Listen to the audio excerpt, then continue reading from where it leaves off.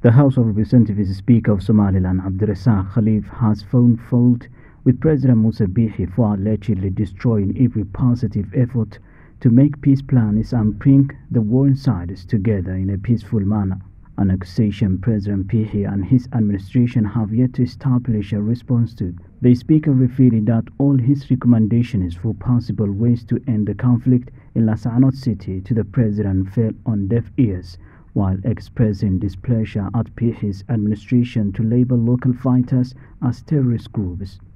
waxaa la isticmaalay awood xad dhaaf ah oo ay ka muuqato nacayb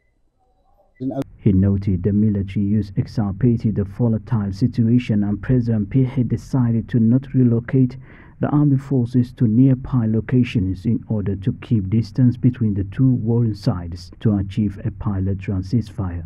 The speaker, who has been in Las Anod since the clashes started on February 6 to display tension, blaming the government for issuing numerous statements fanning the flames of the situation, referring to the Minister of Foreign Affairs interview with the BBC.